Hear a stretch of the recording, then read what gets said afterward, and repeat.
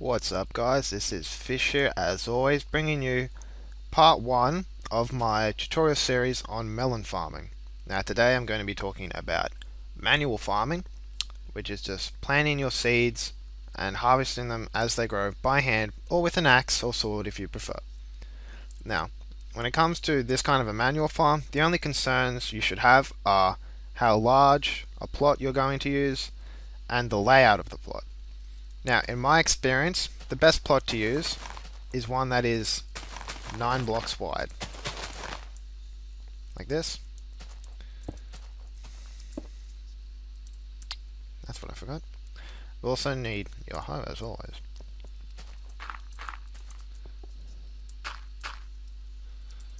Now this I found is by far the most efficient way of doing it because there's one water block and there's four plants. And that's it. That's what I think is the most efficient melon farming plot out there. Like 9 wide. Uh, if you want to make more, then again you just put another 9 on the side of it like this. So you can make it 18 wide, 27 wide. As long as it's a multiple of 9, perfectly fine. You can make it 1 long. You can make it 5 long. You can even make it 15 long. All that really matters is that your plot is a multiple of 9 wide and in this configuration. Me personally, I like to use plots that are 8 long. So let's get that set up. So that's basic manual wheat. Ah, shoot. I keep saying that. Why do I keep saying wheat? That's a manual melon harvesting plot. 9 wide by 8 long by, what, two tall. Let's get a border around it. Just to pretty it up, even though stone's not exactly the prettiest thing to use. Now, if you're like me and you're occasionally worried that you're going to step on or jump on your crops, then here's a little trick for you. You get some glass, put it over the top of your crops.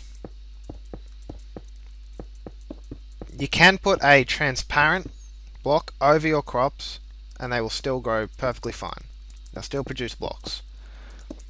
That's why we're using glass, because it's a transparent block. And it's also solid, so you can't walk on or jump on them. Good for keeping the kids from wrecking your garden, am I right? But yes, once all the blocks grow in, then we can get to harvesting. Oh, also, if you're worried about um, items falling into the water in the middle. Nice little aesthetic trick and also functional. Cover it up with lily pads. That way you can walk across it, items won't fall in. So we'll wait for all these blocks to get in. I am afraid I've missed a very crucial point in melon farming, that being that you need the, the crops themselves, they need to be lit. Now, what I recommend is expensive, but it's better than using torches. I don't like torches. So what we can use is glowstone. Now you don't need too much glowstone. Probably 8 will do it. Just line them up like this. And they should light, keep everything... Yes, they should keep everything very well lit.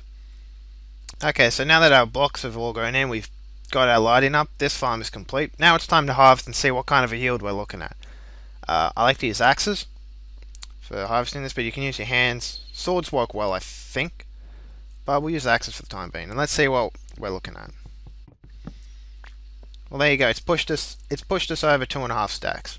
So 32 melons in a plot like this will give you two stacks and close to a half, maybe a bit more, of melon slices. Now, if you want, you can craft them into melon seeds or you can eat them. Whichever works. And that's the end of the tutorial for the manual melon farm. Of course, anytime I've said melon or used melons, you can substitute in pumpkins. And that's the most efficient way to make a manual melon farm. Now, this setup will become important later on in the series, when I get onto some more complex machines, simply because of its efficiency. The 9 wide, however long, melon plot. As always, I'm Fish, and I'll see you next episode when we cover semi-automatic farms. Should be interesting. See you then.